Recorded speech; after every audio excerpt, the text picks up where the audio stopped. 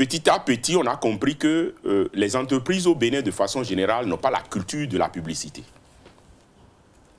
Vous allez au Togo, c'est beaucoup plus intéressant pour les entreprises et pour l'organe de presse de rentrer dans le jeu de la publicité. En Côte d'Ivoire, n'en parlons plus. Mais au Bénin, on a remarqué que, je ne sais pas si c'est l'informel, le fait que l'informel domine, qui fait que les gens sont réfractaires, les entreprises, je veux dire, pour faire de la publicité dans les médias, ou alors c'est notre culture de la publicité qui nous amène à ne pas vouloir faire de la publicité, ou alors encore parce qu'on a été un pays socialiste, PRPB, très peu d'entreprises de presse, nous y sommes à peine, je crois, à 30 ans, non après la conférence nationale. Donc, euh, les entreprises ne sont pas encore matures, je ne comprends pas, parce qu'ils n'ont pas eu l'habitude, n'est-ce pas, de faire de la publicité. Parce que quand je parle de, la Côte d'Ivoire, c'est un pays qui n'a jamais connu ce genre de, de dérapage politique.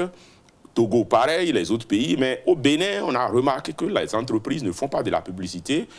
Je ne sais pas si c'est un réveil tardif qui se fait là, alors que la publicité est indispensable pour une entreprise de presse.